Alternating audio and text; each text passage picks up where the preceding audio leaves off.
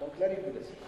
Donc comme toute voie métabolique, elle doit être régulée. Donc on ne va pas synthétiser des corps cétoniques sans arrêt, sinon nous allons assister à ce qu'on appelle une acidose grave. Donc il faut des moyens pour freiner cette cétogenèse et des moyens pour activer cette cétogenèse. Donc la régulation, elle est fondamentale pour n'importe quelle voie Donc cette régulation peut être extra-hépatique, c'est-à-dire elle se fait en dehors du foie, comme elle peut être réalisée dans le foie. Donc extra-hépatique. Donc la cétogenèse, elle va dépendre d'un équilibre. Cet équilibre entre la synthèse et l'hydrolyse des triglycérides, qui se fait dans le tissu adipeux.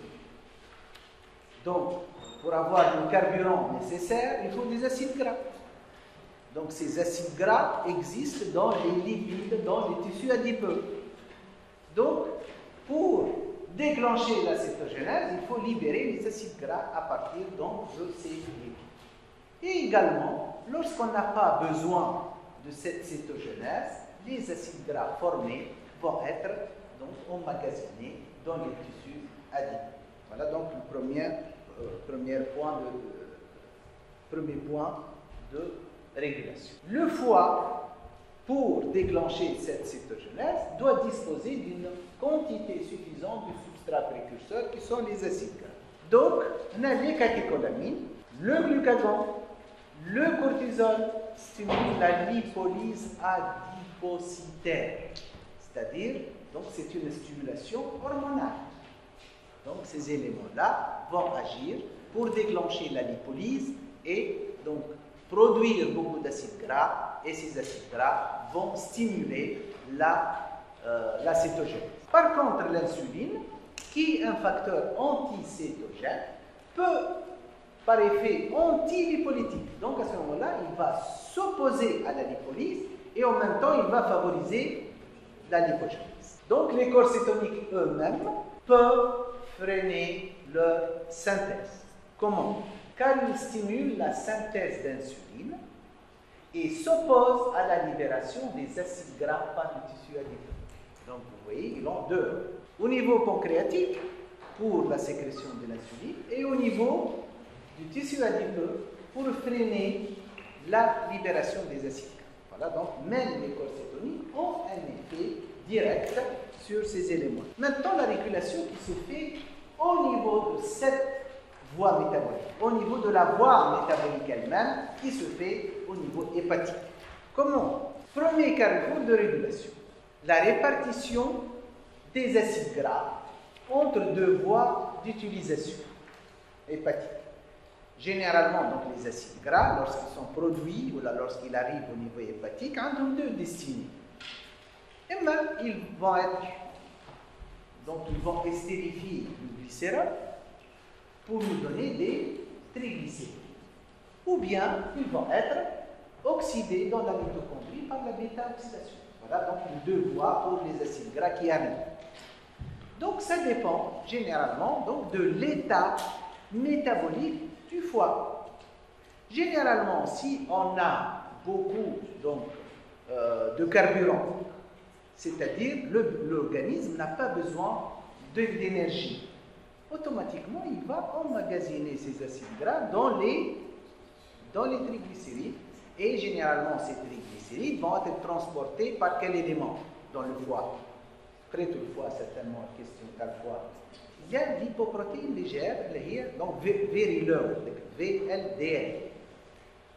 Donc, Kalesh, généralement, il a beaucoup d'acides gras, il mange beaucoup donc, de, de lipides et beaucoup de glucides. Les VLDL, il y a. Lorsqu'il manque de carburant, il manque d'énergie, automatiquement, donc, il va oxyder ces acides gras pour avoir de l'énergie et ça se fait dans le donc vous voyez que ce premier carrefour de régulation a de l'importance, soit le foie va disposer d'acides gras pour la cétogenèse, ou bien ces acides gras vont être exportés à l'extérieur sous forme de VLDL. Cette régulation donc se fait au niveau d'une enzyme qu'il faut connaître, c'est ce qu'on appelle l'acide carnitine transférase 1. Qu'est-ce qu'elle fait Cette enzyme? Prend les acides gras activés, bien sûr, et le transférer dans, dans la mitochondrie pour avoir cette bêta-oxydation. Lorsque je parle ici de la bêta-oxydation, l'oxydation mitochondriale, elle dépend de cette enzyme. Donc, si on a beaucoup de carburant, donc il y a beaucoup d'acides gras, généralement, donc ça va aller vers l'estérification, mais également, vous avez d'autres éléments à part les acides gras. Si vous avez beaucoup de glucose, par exemple, et ce glucose va donc nous donner de l'acétylcoenzyme A en postprandial. On va obtenir beaucoup d'acétylcoenzyme A en postprandial à partir de, des glucides. Ces acétylcoenzymes A, ils vont choisir entre donc la cytogenèse ou elle la biosynthèse des acides gras. D'accord? Donc, la biosynthèse des acides gras, où Dans le cytoplasme. Et généralement, cette voie-là qui va être préférentielle en postprandial.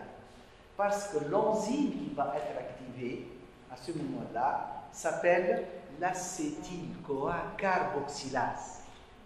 Mais une autre enzyme qui est inhibée par la formation de ce qu'on appelle le malonylcoenzyme A, qui est la première molécule synthétisée dans la voie de biosynthèse des acides. Donc vous voyez, il y a une régulation par disponibilité en substrat. On a beaucoup d'éléments qui arrivent, donc on a beaucoup de molécules de carburant doivent être stockées. Pour les stocker, il faut les stocker sous forme d'acide gras, et c'est la biosynthèse d'acide gras qui est. Mais en même temps, il faut inhiber l'autre voie. Cette voie, elle commence par le transfert de l'acide gras dans la mitochondrie. L'enzyme responsable, c'est l'acide carnitine transférase 1 qui est inhibé lorsque on a beaucoup donc, de, molécules énergétiques qui arrivent. Il y a également, donc, au niveau de cette enzyme, il y a une régulation qu'on appelle une régulation transcriptionnelle. Qu'est-ce que cela veut dire? Cette enzyme, c'est une protéine. Et une protéine, elle est synthétisée comme toutes les autres protéines en utilisant un ARN messager. Cet ARN messager doit être transcrit à partir de l'ADN. Donc, au cours de cette transcription, il y a une activation ou bien une inhibition. Ce qui active cette transcription, c'est l'insuline habituelle. L'insuline, l'insuline, il est sécrété en post-prandial.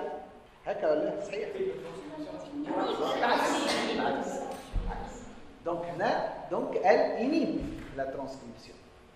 Alors que le glucagon, qui facilite le. Euh, donc vous voyez qu'à ce moment-là, cette enzyme a un rôle capital donc, dans la cétogénèse. Si elle est activée, la cétogénèse va être activée. Si elle est inhibée, la cétogénèse va être inhibée.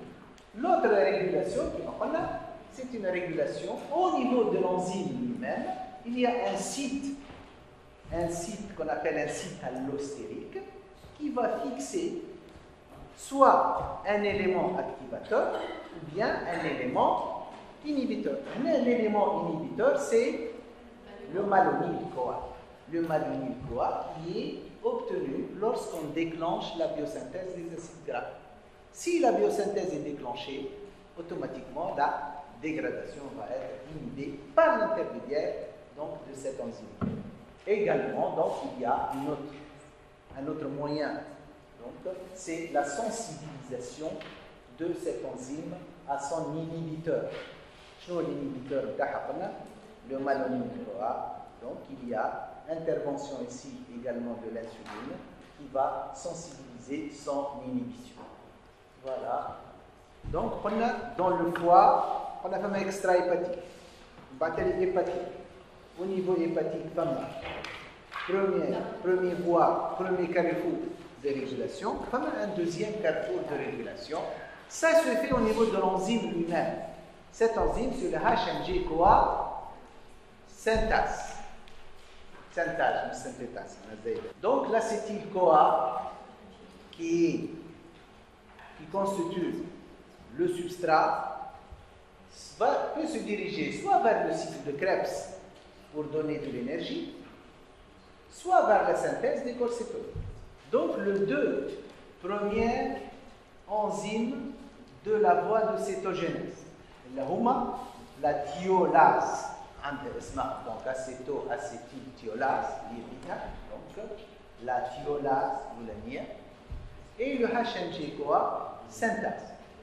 Ces deux enzymes sont inhibées par le produit de la réaction. Je le produit de la réaction. Donc c'est l'acétoacétate dont la concentration dépend du taux de NADH dans la mitochondrie. Si on a beaucoup de NADH, c'est le bêta-hydroxybutyrate. D'accord?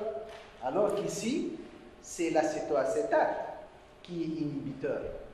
Donc à ce moment-là, à ce moment-là, donc c'est l'inhibition va intéresser l'acétoacétate, donc lorsque le, un ADH diminue, c'est l'acétoacétate qui augmente.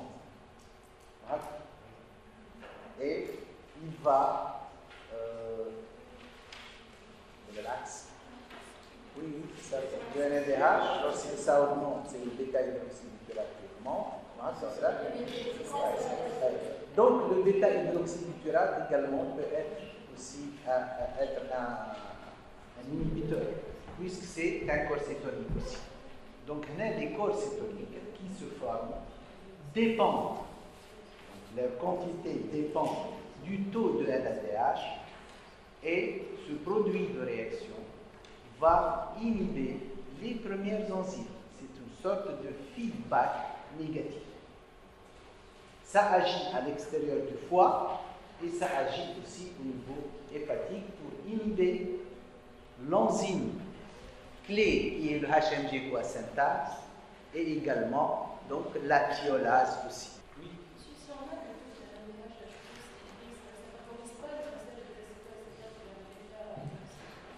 La concentration, dans la concentration dépend du taux de NADH.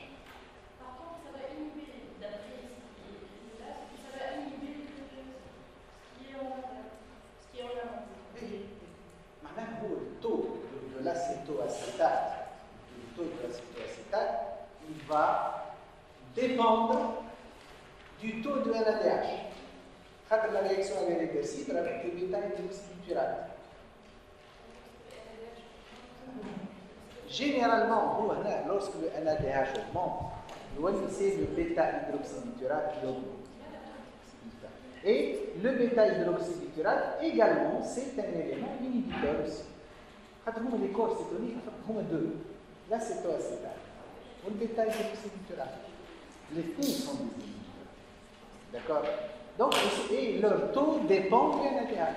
Donc, le HNG-CoA synthase est régulé de manière transcriptionnelle. Donc la, la, la, l'acide carnitine transférase également. Dans certaines circonstances, dans le cas du jeûne prolongé, ouais, le diabète non contrôlé, lorsqu'il y a un jeûne prolongé ou un diabète, quelle est la voie métabolique qui va être activée? La glucogenèse, la néoglucogenèse. Donc la néoglucogenèse, qu'est-ce qu'elle utilise comme élément du cycle de Krebs? C'est essentiellement l'oxaloacétate. L'oxaloacétate qui va nous donner du glucose. Donc à ce moment-là, lorsque le cycle de Krebs lui manque un élément, que va-t-il se passer sur son fonctionnement? Il va y avoir un ralentissement de ce cycle de Krebs. Et le cycle de Krebs, qu'est-ce qu'il consomme? L'acétyl-CoA. si il y a un ralentissement du cycle de Krebs, automatiquement les acétyl-CoA vont être orientés vers une autre voie, la cétogénèse. généralement, donc, au cours d'un jeûne prolongé ou au cours du diabète, il y a un manque d'oxaloacétate dans le cycle de Krebs et aussi il va y avoir une orientation de l'acétyl-CoA vers la cétogénèse.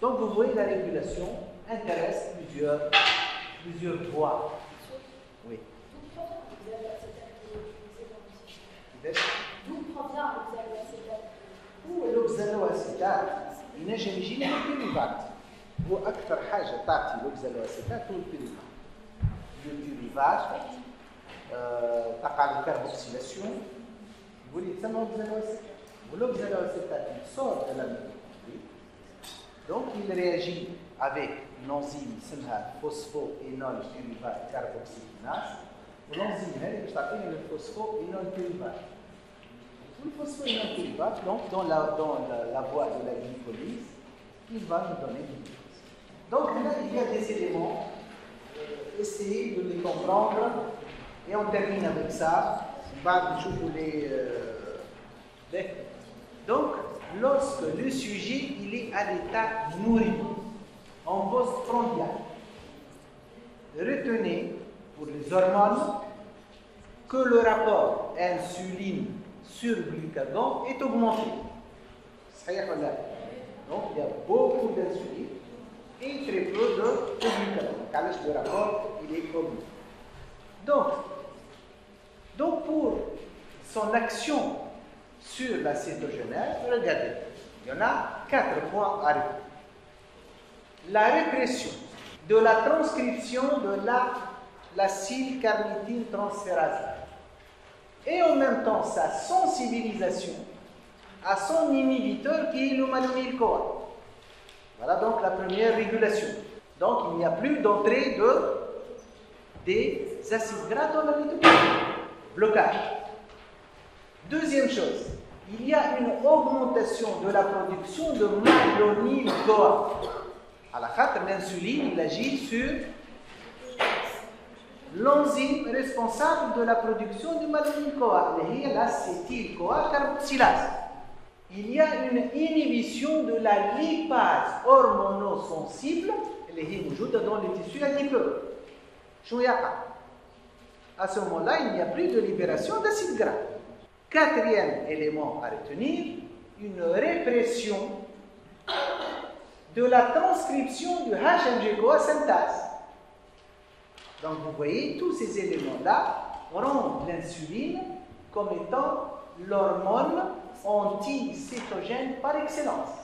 Par contre, à on manque de carburant, on manque donc des molécules énergétiques. Cette fois-ci, le rapport va s'inverser. Le rapport insuline sur le glucagon est diminué. Ce qui va provoquer l'inverse de ce qu'on a vu tout à l'heure. Regardez. Premièrement, une baisse de la production de malonyl-CoA parce qu'elle est inhibée. L'acétyl-CoA carboxylate est inhibée. Deuxième chose, une activation de la lipase hormonosensible. Donc, lipolyse, libération en grande quantité d'acide gras. Une induction de la transcription de HMG-CoA synthase. Tout à l'heure, c'était une répression. Là, c'est une activation. Quatrième chose, une induction de la transcription de l'acide carnitine transférase 1 et également une désensibilisation à son inhibiteur. Et vous voyez que cette voie métabolique, elle est régulée d'une façon très fine chez un sujet normal. Donc, le dérèglement peut avoir lieu lorsqu'il y a des manques d'enzymes ou le manque d'hormones. Tout est perturbé. celui qui est diabétique, donc il va produire beaucoup de corps cétonique parce que tout ceci est déréglé. Il n'y a plus donc ce, cette euh, régulation qui est faite par l'insuline.